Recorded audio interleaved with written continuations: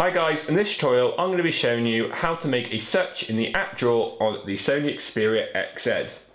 Now whenever you download an app from the Google Play Store, it's all stored in the app drawer. That is the main place where you can access all of your installed apps. And it's also the place where you'll find um, the way to get into your settings, your camera, if it's not on your home screen, and other things like that.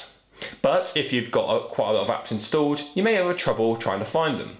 What you can do, if you open up the app drawer, use the search tab at the top and begin typing in. So for example, I want to look for Facebook. So if I start typing FA, we start we get the Facebook icon. I can then press on it and it'll open up.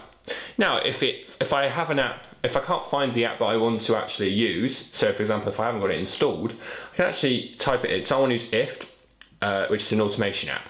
What I can do is I can type it in and then I just press that option and it'll make a search for it on the Google Play, which I can then uh, download and add it to my app drawer as shown. And that's how you make a search in the app drawer on the Sony Xperia XZ. Thanks for watching.